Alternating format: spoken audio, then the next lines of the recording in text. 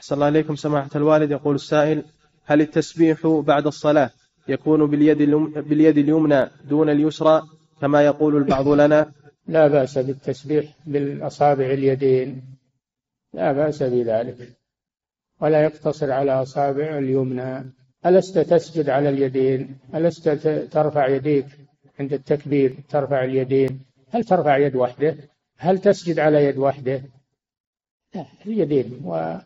والأصابع كلها مستنطقات أصابع اليمنى وأصابع اليسرى.